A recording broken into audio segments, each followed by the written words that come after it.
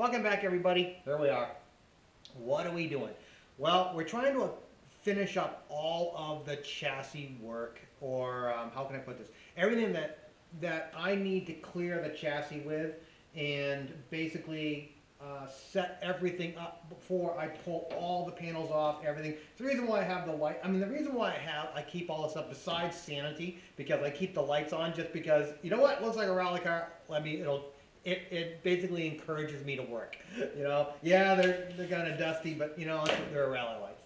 Um, but the whole thing is, is that I need to get the downpipe on and figure out all the clearances there, because once I have that all done, then we can move this onto the lift and start with the mount or checking the mounts, doing the CV shafts, and making sure everything moves correctly, you know? Then we can do this, you know, put the rest of the exhaust on and do the skid plates, and then everything comes off and goes on a rotisserie. You know, the engine comes out, the rear end comes out, everything comes out, and then I can start putting, like the engine, I'll put the engine on the bench with the downpipe, every single thing on it, because I know it will fit in here, and then I will weld it in place with all the mounts that are set up. So that's pretty much what I want to do, and I'll weld it on the bench so it actually looks decent, you know, and then I can trim it all and make it all look nice and, and do all that. But that way I can stick it back in the car. I know it's not going to conflict with anything in the chassis, or all the mounts are going to work in the chassis after doing, you know, after working on everything. So without any further ado, let me finish up the coffee, bring you over to the bench, and let me show you what I got to make the downpipe. And yes, we have more cutting to do of the chassis. Not the down the downpipe is going to be cut, but uh, to make it. But and also show you what the um, how I'm going to attach the bottom too. So it's kind of neat. Uh, all right, let's uh, let's go over there and figure out what we're doing. Here's what we have to build the downpipe for the car. And I brought one of my turbos down to show you how I screwed up. well, it's not so I screwed up. It's just like I've never done eBay turbos before. I bought two eBay turbos because I think it was so cheap, and I bought them because they're just like, wow, this is this is great. What am I going to use them on? Well, I'm using them on this. it's just like, okay, well, I'm going to use it on that one, you know. And one of the things you run into when this is like my first eBay turbo build, um, what it is is that you don't understand the clearances. Now I am see we have what do we have with the kit that I that came for that eBay Turbo, which I bought externally because I needed to get a I wanted to do this. This is a V band clamp. It's a it's an old style wastegate, you know, typical T3 wastegate. What it is is this lever right here bleeds off the the exhaust and bypasses the turbo, decreases the boost. But it has a V band clamp, and my friend used them on his car, and ever since using that, I said, I, I love the things. I love the V-band clamps. They're freaking fantastic. I think this is great. A great idea. So that's what I'm going to use. That's, that's only half of the quick release situation. Um, then also with this entire setup, you know, with this comes the wastegate, the wastegate mount, bolts, all that stuff. And I get my friend donated this. Um, it's a two and a half inch Mandrel 90 bend, and this is what we're going to use for a downpipe. Now, this is the easy part. This is the easy part. This is the hard part. Hmm. Um, what it is is I am used to not. I'm not used to doing the eBay turbos like I said, but what it is, I'm used to doing this. This right here. I think I've shown this before. This is a Cosworth turbo. What it is, this is um, quick release because it's slotted. It's group N because it has a 32 millimeter restrictor. This one needs seals, but what it is, is take a look where the wastegate is. It is very, very close to the actual cold side of the turbocharger. And it's very compact. That's what I was kind of expecting with uh, this. and it's not it. I'm sitting there looking at it when I got everything just like, oh no. So what it is, is that the uh, wastegate is a lot further off the cold side portion of this. And the thing is, looking at it initially, I didn't build enough room in there. So I'm gonna have to cut the inner well, uh, inner fender well. Which is not bad. I'm probably to expand it out probably about an inch or so, you know. Because, and you're probably saying, well, why don't you modify this? No, I'd much rather modify the fender because it's rusty anyway, or the inner fender because it's rusty anyway. So I can just take it, if I have this eBay turbo and it blows up, I can take another eBay turbo and just bolt it right on no problem. And that's kind of the that's kind of the deal what I want to do it with, you know, because I want it to be easy, and I don't want to make an external wastegate because I don't think it's worth it for this car. The Sport, yeah, I think it'll be worth it, but not for this car. That's beside the point. The first thing I got to do is we have to pull the turbocharger off, put all of this garbage on, put it back in, and see where we need where we need to modify the interfender well, and that way we can just keep going. You know, this is through inexperience of eBay turbos. I'm used to this stuff, not to this stuff. All right, I, I made my confession. All right, let me uh, let's go um, pull this off. It's only gonna, it's gonna take a couple seconds. Pull this off. Mark where we're gonna do. Slice it, push it out, then put the turbocharger in so we can build the downpipe.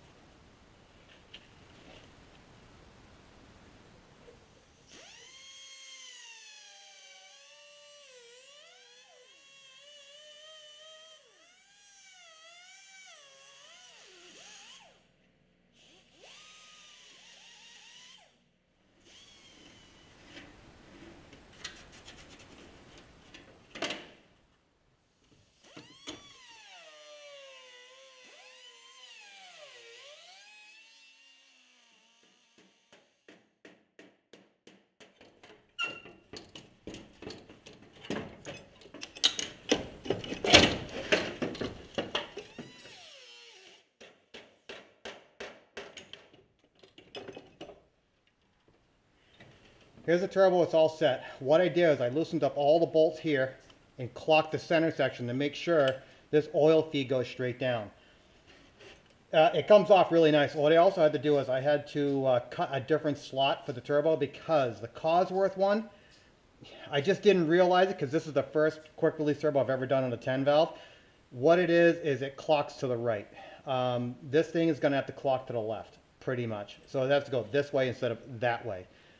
You know, it, it's one of those things where it's just like, ah, oh, shoot, I messed up. But whatever, it's a hundred dollar, hundred, hundred something dollar turbo, eBay turbo. But it's it's not bad. It does it. It does exactly what I want it to do. Now I got to tighten up these, at least one bolt on these on the on these sections right here, and right here, so nothing moves. Pull it back out, tighten up all the bolts, put it back in, put all the intakes and all that stuff, tighten it all up, make sure it's all in there. Then we can build a downpipe. Hopefully that's going to be easier. But um, yeah, this is actually fairly easy. And I just have to keep that position for the indentation right for the wastegate actuator down there, exact position. So when I put on the rotisserie, I can weld that in. That's not a big deal. So let me pull, let me tighten up these bolts, pull it back out, then then put everything back in. Here's the V-band, uh, basically the adapter and the V-band setup on the on the turbo. All basically what all I want to do is I want to go out about that far, because I have to cut off this, go out about that far, then turn straight down, just like the stock downpipe, pretty much. I'm just trying to keep it as, you know, how can I put this, as far away as, as this as possible, but I also have to keep it away from the steering rod end, so which means it's going to be pretty much right there all the way down. And I'm going to show you here in just a bit the reason why I'm doing it this way. But the first thing is, seeing how it's going to be right there, how far out do I have to go?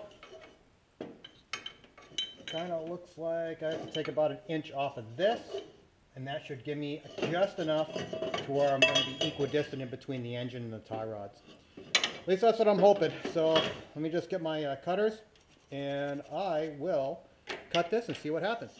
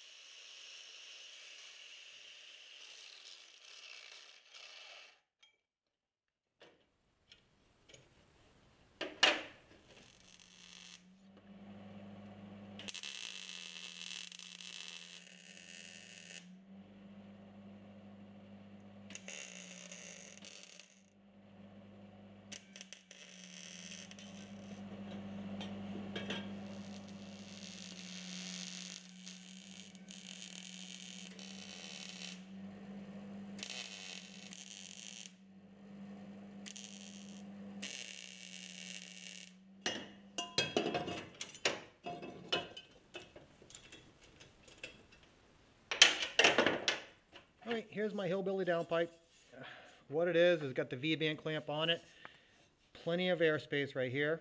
Uh, I don't know, see this section right here? I was thinking about putting a mount that goes up to this to hold the back portion of this uh, downpipe and to kind of support the rear of the turbocharger. I might do it off of the wastegate, I'm not really sure, or the uh, back portion of it, and go to the manifold. I don't really know. I don't want to. Su- I do want to support the rear of the turbocharger, but as you can see, this is going to be a straight down. It's going to be a slip joint. Now let me bring you up to the Escort, my rally car, let me show you what they did. It's exactly what I'm going to do because I thought it was an ingenious idea and it's a quick release solution and it's wicked cool. I really like it. And then we're going to get this thing, I'm going to take a walk around, make sure everything was okay on the car, that I don't need to, you know, anything that modification modifications to the chassis to make work um, that would be hard on the rotisserie or on the lift. So first things first, let me bring you up, show you the Escort, and show you how they did that, and then I'll take a walk around and we're gonna roll this thing onto the lift, lift it up, and start fixing, figuring out if all the suspension I put in those places is correct. Then again, I'm assuming it's not. so, all right, let's get this thing going. Here's a turbocharger for the Cosworth. Three bolts standard, integrated wastegate, catalytic converter. Down there is the spring that goes onto the crossover pipe that goes into the center pipe. Let me uh, let's go underneath the car. Let me show you exactly what it is. Here is the uh, basically what it basically a crossover pipe if you want to call it. Take a look at the spring. The spring is like you know you generally use to see them on like boot lids or trunks or whatever you want to call them. Uh, you know to keep the hatches down. And the whole thing is, I've never seen one on an exhaust, but oh my god, does it work slick. And this is why I'm going to use it, because people who know a lot more than me did this, and I'm going to co- just copy them because, you know what, they're a bunch of smart bastards, you know? and I'm just a dumb hillbilly. So, you know what, if they did that and it works so great, you can take the two bolts off the crossover pipe, pop the spring, and it pulls right out. Or you pop the spring, the three bolts off the uh, turbocharger for the downpipe, pulls right out really fast. It is an awesome way to do it. And that keeps um, tension on the slip joint. And the thing is, when it's on the slip joint and it keeps tension, what happens is when it heats up, it seals it. So it's fantastic. Absolutely fantastic. These guys over in England, man, they know what the hell they're doing. So let's run back down to the car and let's see if we can get, um, how can I say this? See if we can find anything else that we need to weld onto it before we have to put it on the lift, which will be easier on the dolly than on the lift. All right. Okay. Uh, let's run back down. Well, I found my first thing that I have to weld in prior to me putting it on the lift. Remember this. This is the power steering wheel.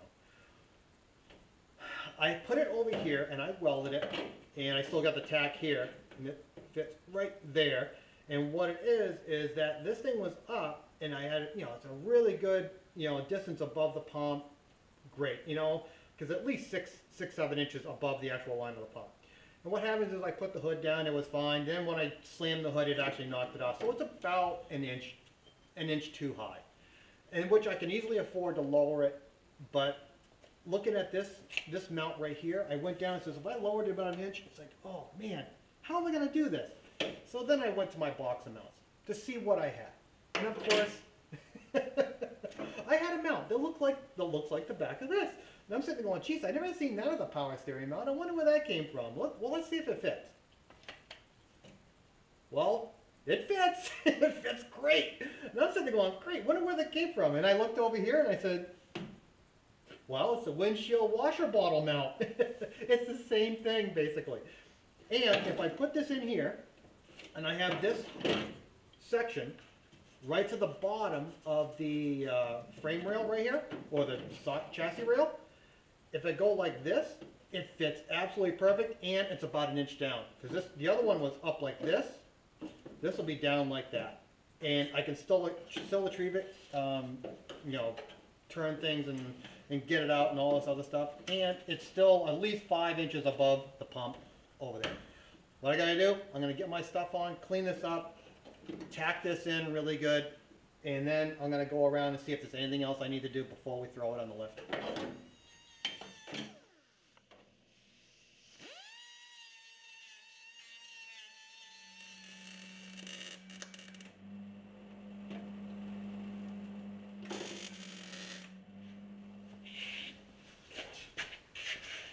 This right here is the last thing I found before we put it on the lift.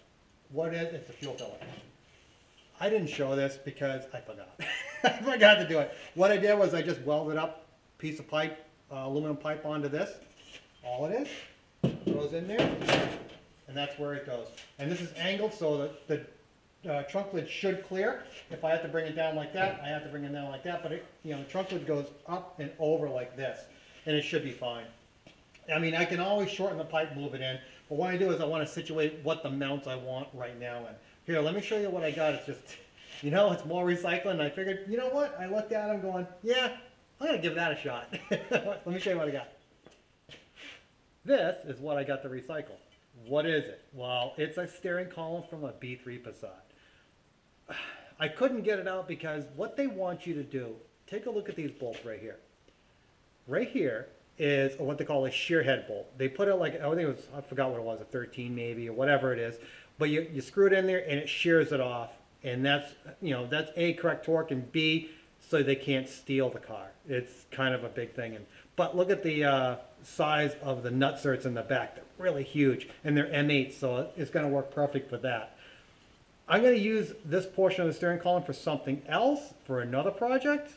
That's kind of the reason why I'm, I'm doing this. I got to do it anyway, you know? So if I got to do it anyway, look, I got all this extra metal. I can, I can bring down the mounts. I can do all that stuff, and it'll look kind of cool, you know? Um, at least I think it will.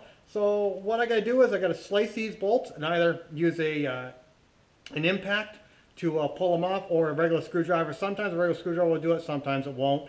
But it is what it is. So let's go over here to the bench. Let me um, slice this with the die grinder and or the whiz wheel. Pull these things out, and then we got ourselves a mounting plate for this.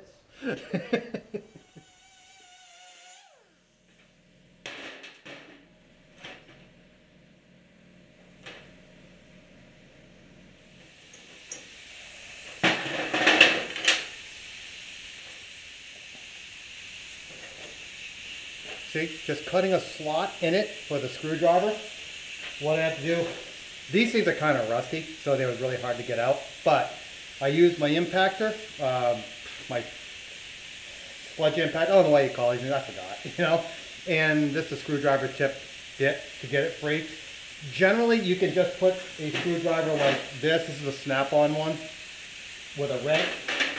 13 inch goes, or a half inch goes right here. And generally it'll pull it out. This one, it wouldn't do it, so I had to cut a slot big enough in order for the screwdriver to fit, pop it out. And now, cut this down the center and we have mounts that go on there.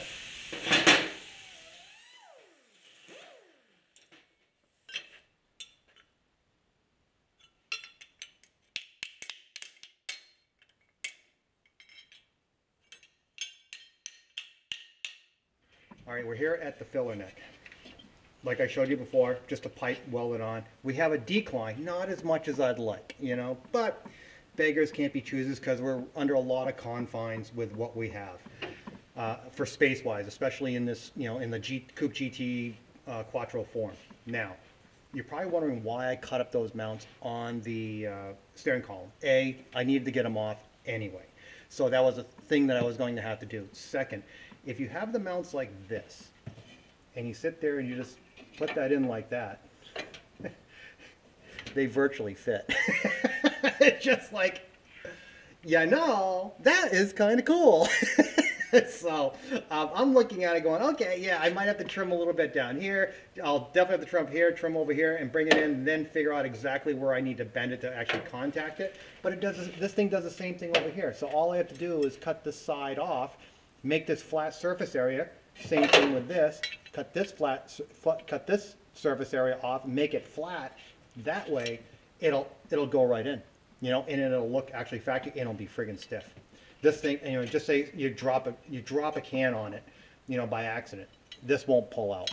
So, all right, let me uh, get my stuff back on, start trimming and pounding this out, and seeing how I can make this all work.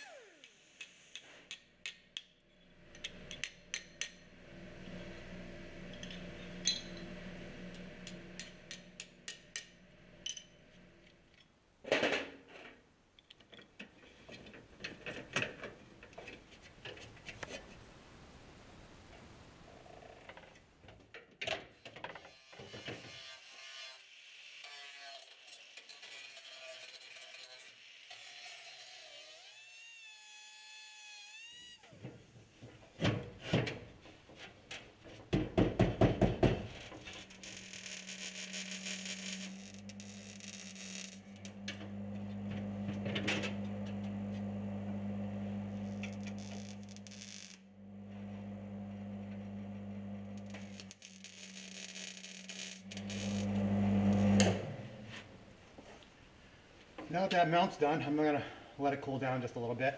I can get most of it now when I flip the car over with on the rotisserie. I can get the stuff in back so I don't have to crawl underneath there.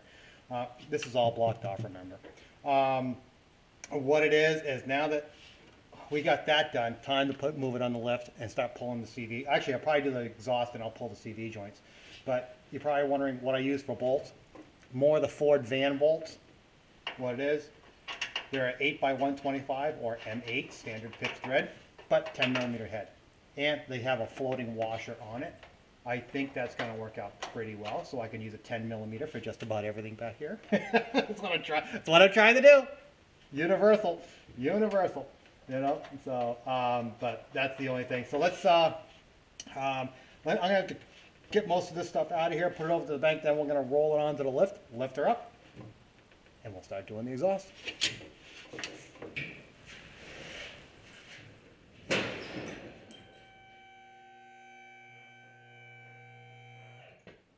Well, car looks pretty cool underneath. I love the header.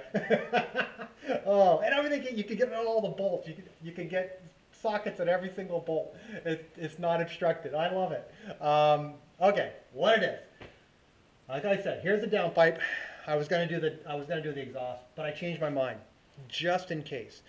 I have to do the main things I have to do is the exhaust to get to where the mounts are going to be for the best placement on how I'm going to do things, and to make sure the CV joints don't bind up and down when I use my alignment strut to make sure everything works correctly.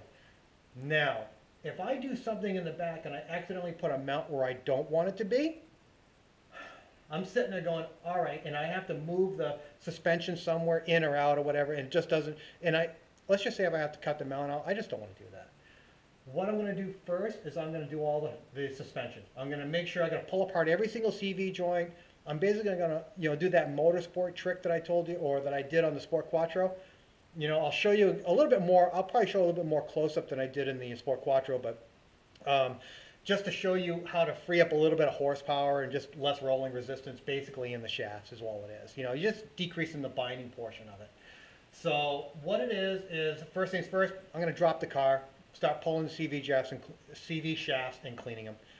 I, I'm just gonna cut it, we're gonna go right to where it's gonna be, I'm gonna have one of the CV shafts on the table, I'm gonna show you how the, uh, or how I blueprint, basically blueprint the, um, CV shafts, so they're nice and, you know, wobbly and no binding and frees up horsepower, you know? But first things first, let me drop the car, start pulling the CV shafts, and we will cut right to uh, me bringing these things on the bench after they're cleaned. Here we are through the magic of YouTube. All the CV shafts are out, all clean. Um, pretty much just a it's gonna take you a couple hours just messy you know uh, that's that's there's no way around it you know so but what are we doing when i said um, you'll probably see in the description that i said i'm gonna blueprint the uh, cv shafts well it's not really i'm just making that word up i mean what i'm doing here is the cage. This cage right here is basically forged and stamped through uh, pretty much, and it's kind of it's it's if you take a real good look. I'm not sure if I can put this out here. Take a real good look. See how rough that is. That is um, we're trying to get rid of that roughness. And why is that? You know, um, because when you sit here and you have this this ball like this, it goes like that, and you have to force it through in order to um, you know push it into the cage. Well, I'm going to get rid of that. And what does that do for us? Well, when you don't have a lot of money for a motor, or if you're in a spec series, the reason why I am doing this is because I think I said about it in my in the video with the Sport Quattro when I did it on this, is that you know in the first iteration of the Fiesta Rally packs or Rally kits, if you want to call them, that M Sport put out back in the early 2000s, one of the things they had was you know motorsport drive shafts, and I asked you know. Um, a friend of mine said, you know, what is that motorsport drive shaft? 'Cause, you know, they wanted 250 quid for just the drive shafts. And I'm, and I, and I says, are they all special, like the special, you know, ones that the, you know, that, that Audi put out and just, you know, and you had to use these special joints and it's all this special stuff and custom forged, blah, blah, you know, and he says, no, he says all it is is they, they what they did is they take apart every single CV shaft and they clean up all of the ridges. What does that do? Well, it decreases the amount of parasitic drag, drag that's caused just by rotating the actual assembly. Um, and pretty much it's they reduce that to an absolute minimum because every single car out there had to have a spec motor. 150 horsepower i think it was and that was it. But in order for you to gain an advantage on someone else well you reduce the parasitic drag. So that motor is actually more efficient in translating the power from the crankshaft to the actual ground you know? So with less drag happening you know throughout the entire system the faster the car will go for the same amount of horsepower. And that's kind of what we're doing here.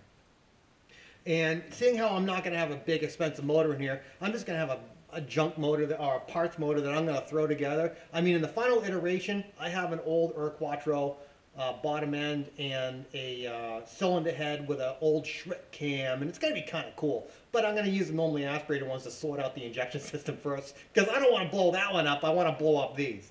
So that's that's down the road. That's down the road. Um, but what am I doing now? Oh, also one thing I found out, seeing how this is such a parts bin, um, this right here is a this is the old style cage. Whoop. See, they get stuck inside there. Uh, this is the old style cage, which is like a rectangle, and this one is like a modified figure eight. And I looked at this going, huh, because this CV joint was easy to get out. And I looked at it going, well,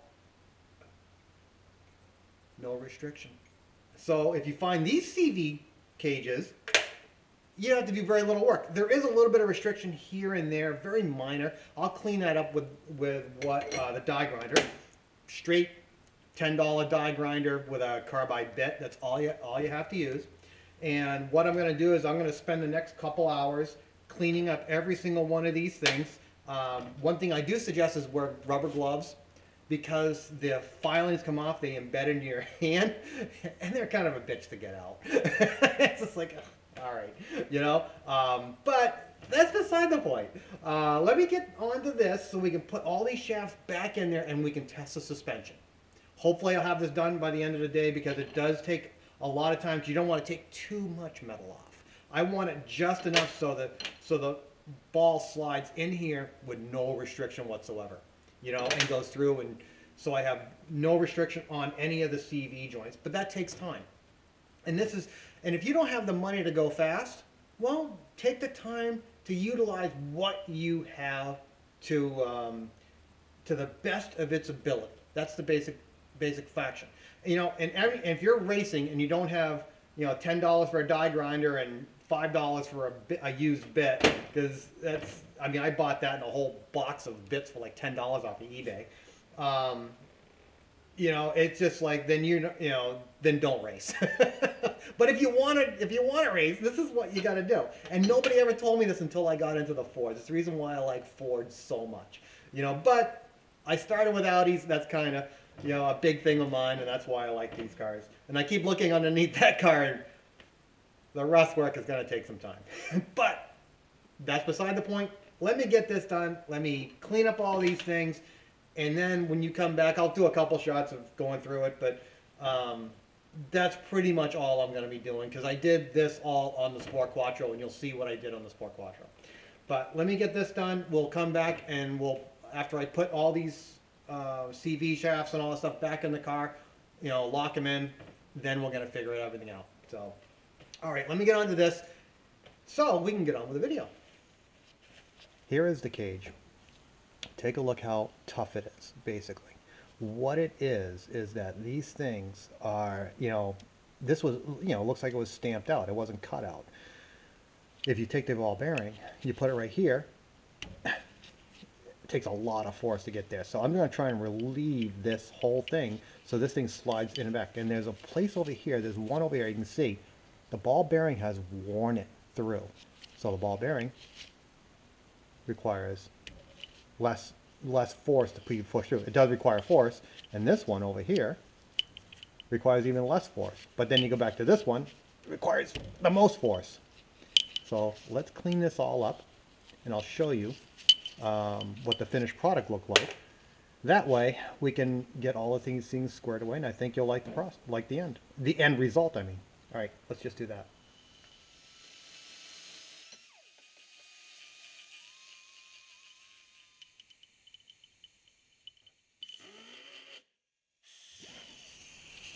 Here's the finished product right here.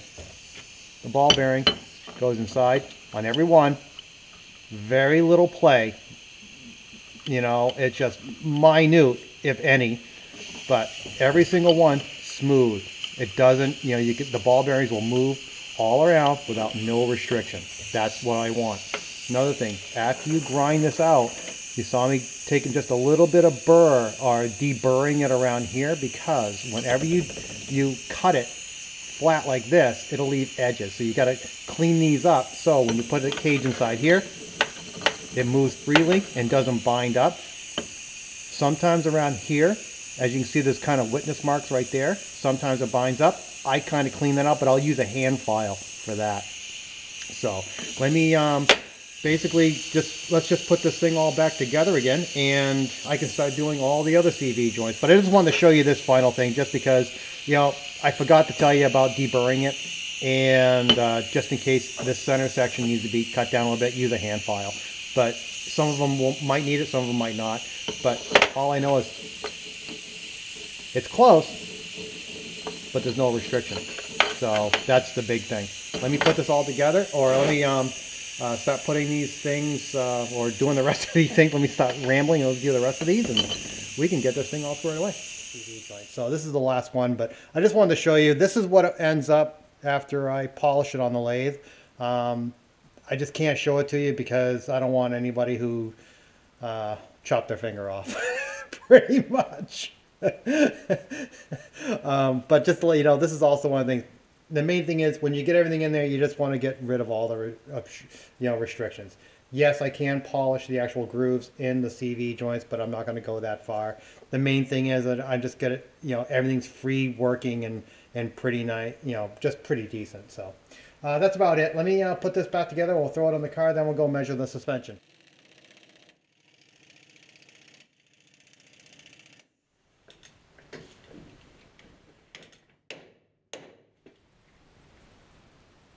Well, there's zero camber. Let's uh, check the inner CV joint, see if it's out. If we have to move it, we have to move it. The middle of the inner CV joint. What, let's see how much room that we have to uh, make in order to make this thing actually work. Here is this uh, CV shaft. This right here, this stop goes right to here. If we push that in like that, that's where it has to go. So let me put this back in the center of where I want it to be on the CV joint. Let's see how far that we have to go backwards in order to get it. So what I'm gonna do is, this right here is the flat spot where this rests on. So I go like this, there, that's the exact, what do we have to do? It looks like, huh, 20 millimeters exactly. Yeah, 20 millimeters exactly. All right, what I'm gonna do is I'm gonna get my cutters out. I'm just gonna cut the uh, mounts and move them back. That's it. I think that's the easiest way to do it. All right, let me go get my stuff on and we'll do it.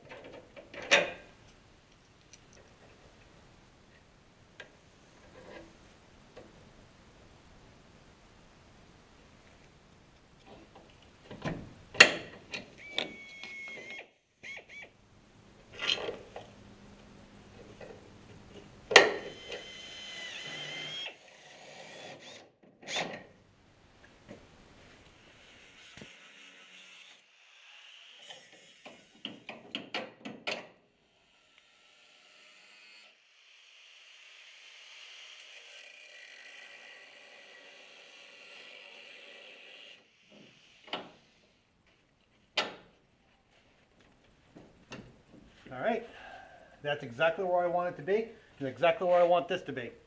All right, I'm just gonna go out and just do the rest of them. Um, I gotta weld this plate in, but I'm not gonna do it right yet because the whole thing is I gotta pull a CV joint out, I gotta drill the rest of this hole, but I have the place where it's gonna work. That's the main thing. Now that I have where it's gonna work, all right, I might just trim up a little bit and throw that plate in there just to leave it there. But other than that, let's go, I'm gonna, you know what? I'm just gonna go to the rest of them when we're done. Just make this episode shorter.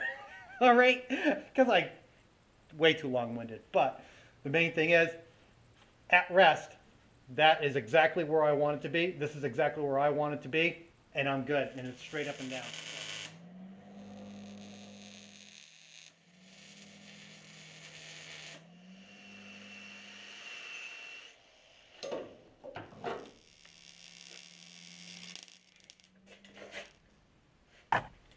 Well, it's better to be lucky than good. What happened was I came back here to film cutting up all of this. And I put the uh, suspension, I put the CV shafts on, and they were way out. That one was like all the way in and hitting the differential. This one was all the way out and, and was pulling the balls out of the cage, out of the inner, inner CV joint. Oh, another thing. Um, when you clean up all the cages, you're gonna have to put limiters on them or just be very careful putting them in because seeing how, I mean, there's no play in the cages, but they're so, you know, they're so free and loose, they will actually pop the balls out if it's, uh, the ball bearings out of it, if it's, uh, uh, if you, if there's too much of an angle. And it is a royal pain in the ass to put them back together again. So I'm gonna probably make limiters and try and figure out something, but that'll be later. What it is now is I, I didn't put the strut on this thing. I just said, okay, well, I'm gonna bring this thing up, put it roughly where it's supposed to be, use my camber gauge and see exactly where the camber actually sits out. So if I can put it right here, that's, I'm not sure if you can gonna be able to see this, but the bubble goes into the negative, I mean, into, into the zero portion. That's zero uh, negative camber, and I look at it, both CV joints were in their exact good position. And the funny thing was, when I when I swapped them out, they're just like, all right, that one over there worked, but this one I couldn't get to work. And then I, I jacked it up, put this in, going, oh my God, it works. They both, it saves me all this time. So what am I gonna do? I'm gonna do the exhaust. I'm, I'm, this is crazy because I only had to do the fronts, you know, and um, yeah. So the thing is, if you actually have your cars and you set it to the CV shafts, which I did, and I did it wrong, um, and I swapped the CV shafts and there's uh, CV shafts, and it's better to be lucky than good because oh my God, they work now. Oh, great. All right, um, what I'm gonna do now is I'm gonna go grab all the exhaust bits and pieces, and I'm gonna start making the exhaust for the, uh, for this car, so we can get this, this episode wrapped up, and I can get this thing on the rotisserie. Because I keep looking underneath there, the amount of rust that I have to work on, and all the stuff I have to do to this thing is crazy, you know? But, yeah, I signed up for it. so I, no pity shall be allowed. all right, all right. Let me go. Let me um, go grab the exhaust and uh, bits and pieces. I'll throw it out on the floor and I'll just try and make something up.